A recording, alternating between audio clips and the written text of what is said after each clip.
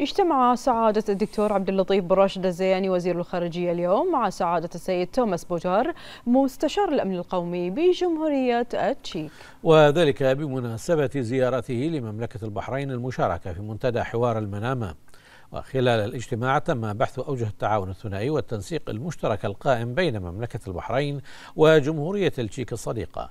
واستعراض السبل الكفيلة لتنميتها والدفع بها إلى آفاق أوسع بما يلبي المصالح المشتركة.